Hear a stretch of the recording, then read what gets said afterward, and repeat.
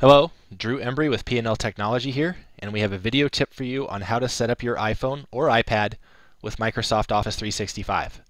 This is a really common question we get, so we thought we'd make a video to help you out.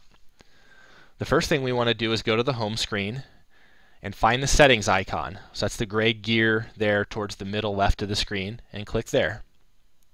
This will bring us into the settings menu, where if we scroll down about halfway, we'll see mail, contacts, and calendars there with the uh, little envelope icon and we'll want to click that. Under accounts we see I already have an iCloud account set up and we want to add another account so we'll click the add account button there. This will bring us in a list of email providers and even though we see Outlook.com there that is actually a separate service we want to select Exchange to set up with Microsoft Office 365.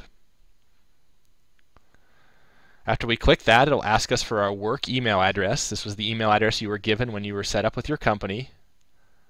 So we'll go ahead and type that in.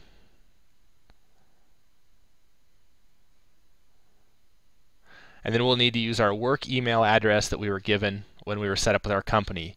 And note this may be different than the username and password you used to log into your computer. So we'll go ahead and type our password in now. Okay, after we've entered our password, we can put a label on there. I'm going to go ahead and just leave it as Exchange, but if we wanted to put work email or something like that, we certainly could. After we're done, we'll click the Next button in the upper right-hand corner.